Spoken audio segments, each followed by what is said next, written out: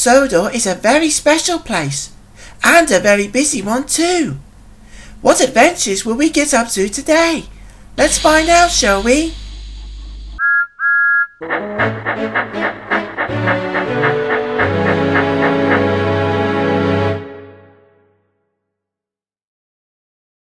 Today's story is about Toby the tram engine and Belle the fire engine, and is called Saved by the Bell. There are many engines on the Fat Controllers Railway. They all have different ways of letting others know they are coming. Steam engines use their whistles.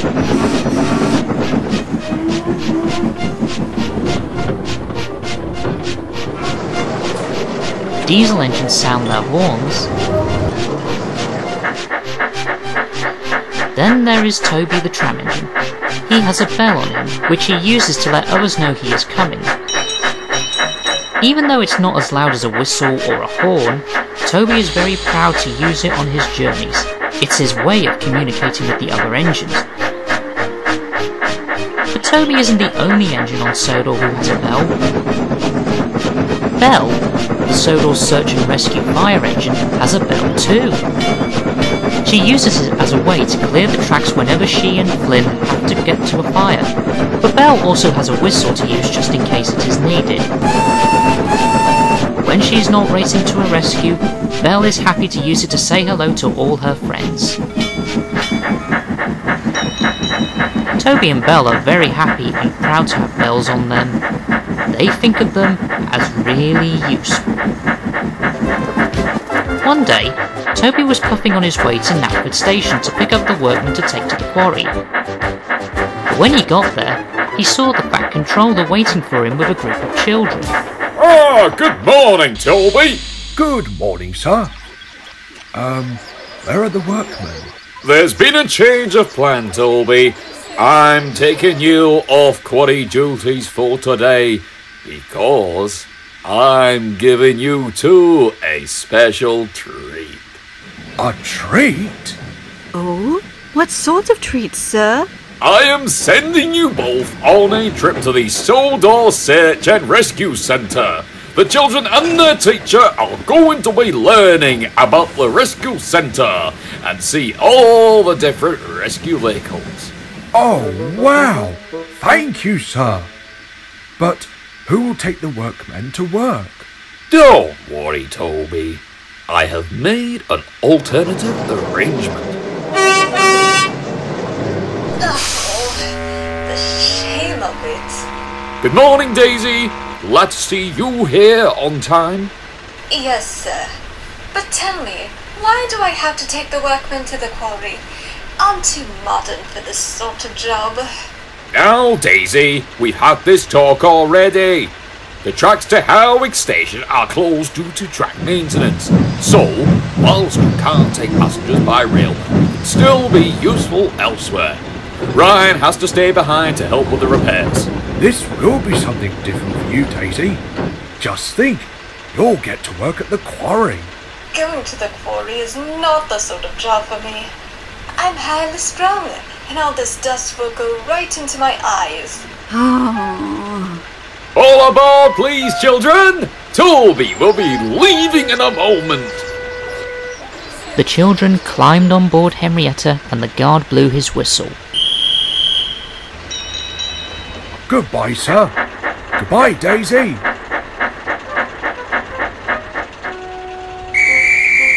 Off you go, Daisy. The workmen are waiting. How undignified.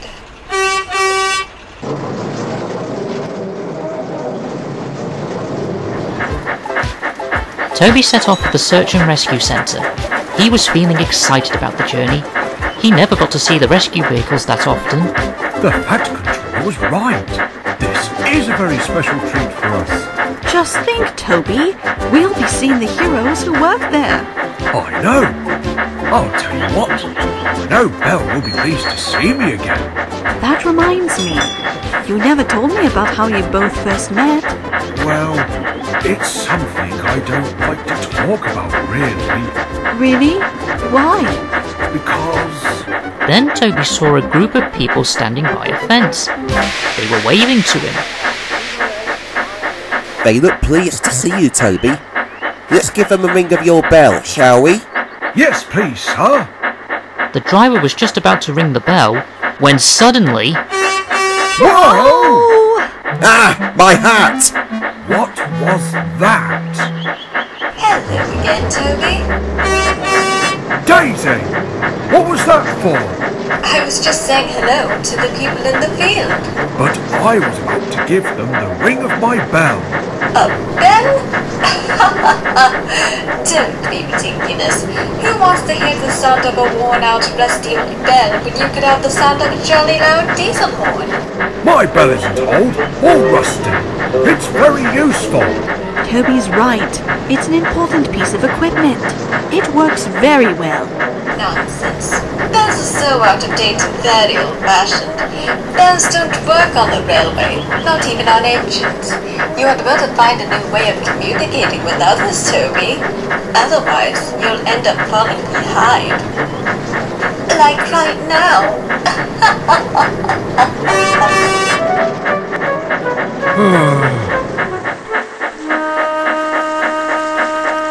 After a long journey, Toby and Henrietta arrived at the search and rescue centre. Belle and Flynn were there. They were pleased to see Toby. He stopped at the platform and the children and teacher got out to meet the rescue centre manager. Hello, everyone. Who fancies a look around the rescue center? Right then. Follow me, please. As the children and teacher followed the manager inside, Belle and Flynn noticed Toby looked upset. What's the matter, Toby? You look fed up. Oh, it's Daisy. She said my bell is old-fashioned and out of date. What? That's not very nice. She said a bell is not useful anymore, and that a diesel horn is much nicer to listen to. That's nonsense. Bells are very important. Everyone has ways of communicating with others. I have my horn, which is loud. But there are other ways of saying hello to your friends. You and Belle have bells, and you also have a whistle, Belle. You should be proud of your bell. It's one of the things that makes you special. There are lots of places that use bells. There are bells in churches, schools, and. The emergency alarm!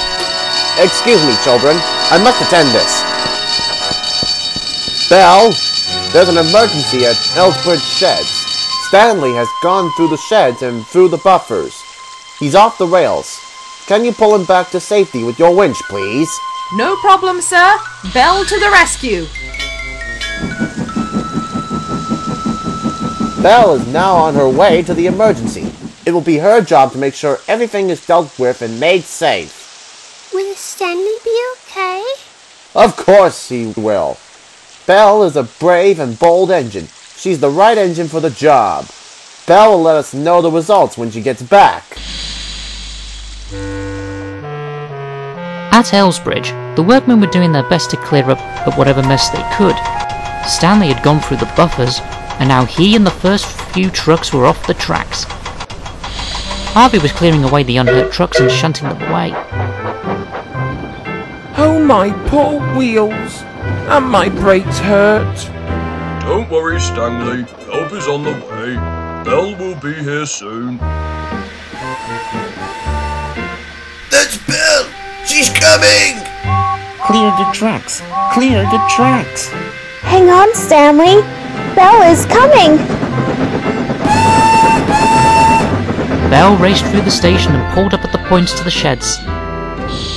Harvey was just shunting away the rest of the unhurt trucks. All clear for you, Belle. Thank you, Harvey. I don't like this at all. Don't you worry, Stanley. I'll have you and the trucks back on the tracks in no time. Belle stopped at the end of the track and her driver and fireman went to work to attach the winch. Stanley's crew helped too, and the winch was soon connected to Stanley's coupling hook. Soon enough, everything was ready. Okay then, Belle. Easy does it. Belle took the strain, and as she started to pull, slowly and carefully, Stanley moved back towards the rails. Oh my! Keep still, please, Stanley. We cannot pull you if you shake and shudder. When Stanley reached the end of the track, Belle's crew who took off the winch and they coupled Belle up. Gently, Belle took up the strain and pulled Stanley back onto the tracks. With a jolt and a bump, Stanley felt the rails beneath his wheels once again. He gave a sigh of relief. For you! Thank you, Belle. That's all right, Stanley. I'm glad you're safe. She did it! Belle rescued Stanley! Three cheers for Belle! The engines cheered and whistled for Belle, and the passengers all gave a round of applause. Belle gave a big smile. We'd better get you to the steamworks for a checkup, Stanley, just in case. Yes, sir. I understand.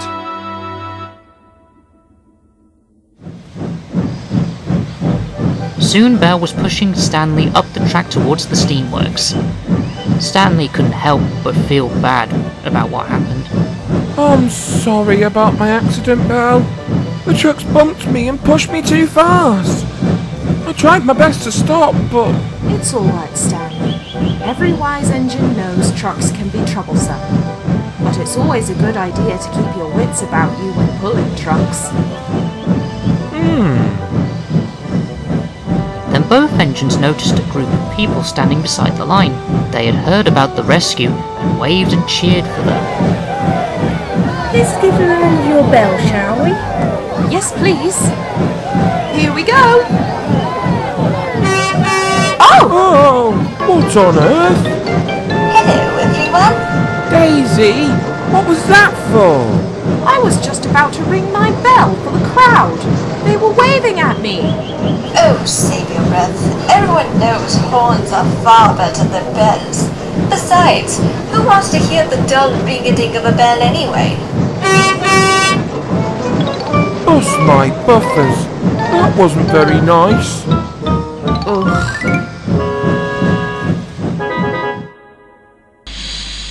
Belle dropped Stanley off at the steamworks and set off back to the rescue centre. As she puffed back, she was still cross about Daisy and what she had said. That Daisy is very rude indeed. Belle returned to the search and rescue centre still feeling upset. Toby and Flynn were quick to notice Belle looking upset. Belle, are you alright? Daisy was very rude to me. She ruined my chance to ring my bell at some visitors. Oh my! Ah, Belle. How did the rescue go? Oh, yes, sir. Rescue successfully completed. Stanley is at the steamworks and being fixed now. Excellent, Belle.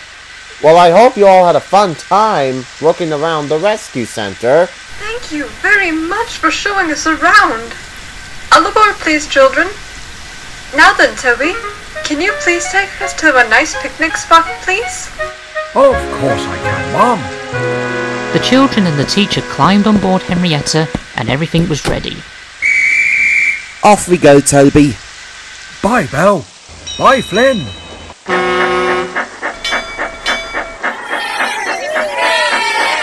You hear that, Belle? They're cheering your bell. Oh! See, Belle? Your bell is very useful and very special. Don't let Daisy get to your smoke box. Belle smiled at her friend, but wasn't sure about what he had said. She really wanted to find a way to prove that bells were really useful, but she wasn't sure how. Meanwhile, Daisy was having a wonderful day. She blew her horn at every possible moment. Whenever she saw a group of people, she would sound her horn. Daisy felt very proud of her horn and thought for sure it was better than a bell. Silly Toby and Belle, fancy thinking bells are useful. So old-fashioned and out of date.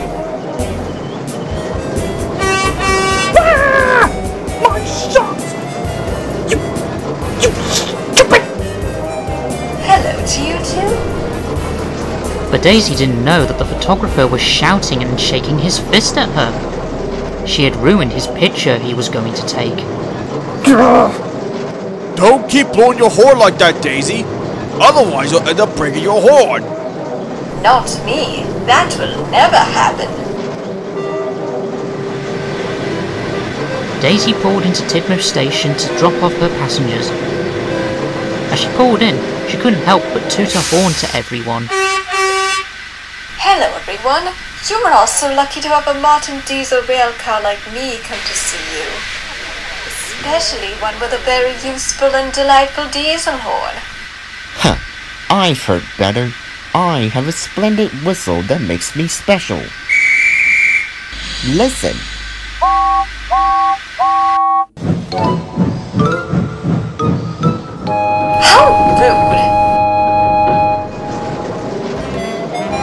Daisy was on her way again, she set off through the countryside.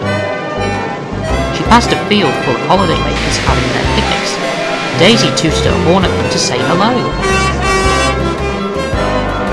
Nothing like a toot of a diesel horn to get everyone's attention. Oh!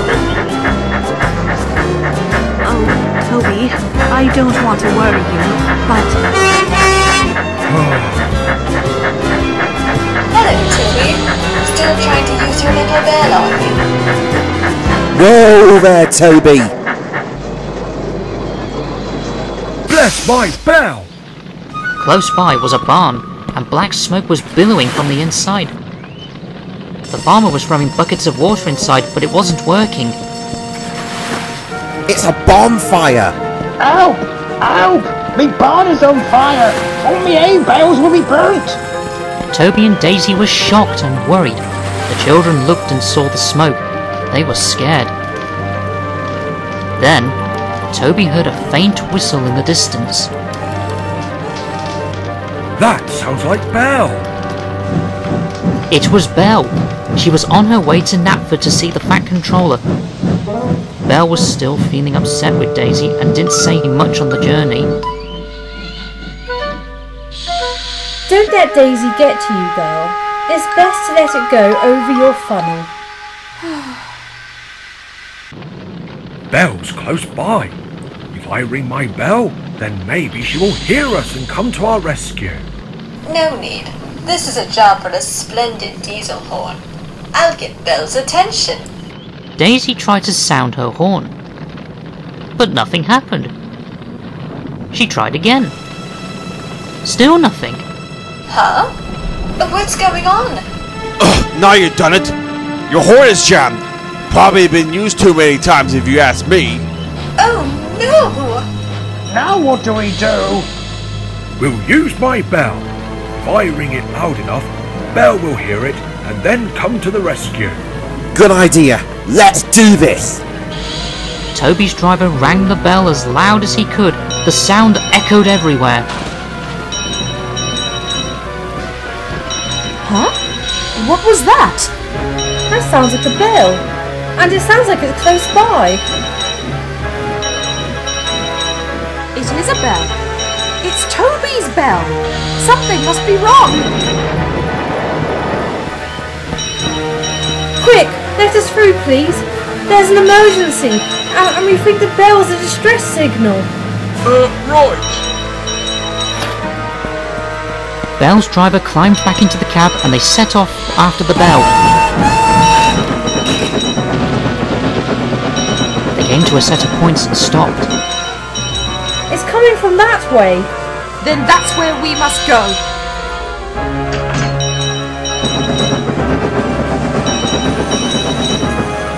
Come on, Belle. Hurry! Don't worry, Toby. I'm coming. The sound of Toby's bell got louder and louder. Then Belle's crew gasped when they looked up ahead. Knock me helmet off. Do you see what I see? I certainly do. It's a bonfire bell. The sound of Belle's bell could be heard in the distance. Toby's driver put a hand on Toby's lever. We need to back up, Toby. We can't risk Henrietta or the children getting hurt. Toby knew his driver was right. They got back just as Belle came into view. Belle rang her bell and blew her whistle loudly. She stopped close by the barn fire. Belle! Stand back, everyone! Leave this to me! Belle's crew aimed the water cannons at the barn. And then with a whoosh, water shot from the cannons and onto the barn. Everyone watched as Belle and her crew tackled the fire. In no time at all, the fire was put out. The smoke disappeared, and Belle heaved a sigh of relief. Phew! Oh, we've done it. You did it, Belle! You put out the fire! Oh, thank you, Belle. Thank you ever so much. Happy to help, but now I had better get back to Knapford. That's where we're going too. So am I. I'm afraid not, Daisy. You won't be going anywhere for a while. It's not safe for you to ride without a horn. Want some help, Daisy? Later, Toby, Belle, and Daisy returned to Knapford. The Fat Controller was waiting to see them. Belle, you really are a very useful engine and a clever one too. You attended to a fire without being waited to be told. You certainly are an engine who knows how to use her initiative. Thank you, sir. But I couldn't have done it without Toby's help. It's true, sir. Toby rang his bell to get Belle's attention. We followed the sound of Toby's bell, sir, and it led us straight to the emergency. Well, it seems you are a hero too, Toby. Your bell helped to get the emergency message across. You and Belle are the heroes of the day. And as a special reward, I think the pair of you deserve brand new coats of paint. Your bravery will not be forgotten. Thank you, sir. And as for you, Daisy, I think you owe both Toby and Belle an apology. Your diesel horn may be useful, but Belle's are very useful too. If it wasn't for Toby's bell, Belle wouldn't have been able to get to the barn fire. You were also lucky that Belle was kind enough to shunt you here. Oh, I'm, I'm sorry, Toby, and I'm sorry to you too, Belle. I guess bells do have their uses after all. Yes, they do. You can think about what you've done whilst you're having your horn repaired at a Dazo Works. There you are! I want to word with you about my picture you spoilt! Huh? I was just about to take a picture of my wife when you made me jump and made my picture go blurry! Uh-oh. Hmm. I think I have just the picture for you, sir.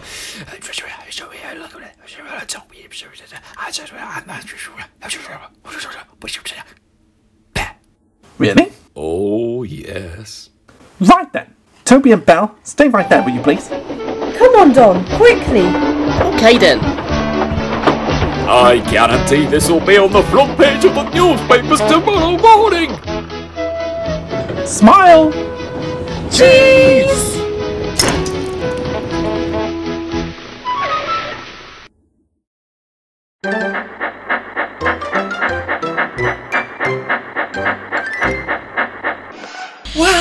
What an adventure that was! Toby and Belle both got to prove that their bells were really useful after all. Steam whistles and diesel horns do have their uses, but bells are very special too. Next time you go out and about, keep a listen out for any bells you hear. You might hear one on a bicycle, or in a church, or even from a town crier. You might even hear the sound of jingle bells, but you only hear those kinds of bells at Christmas time. You could say today's story was Saved by the Bell. I hope you had fun with us today. I'll see you again for another adventure. Goodbye, my friends. See you again soon.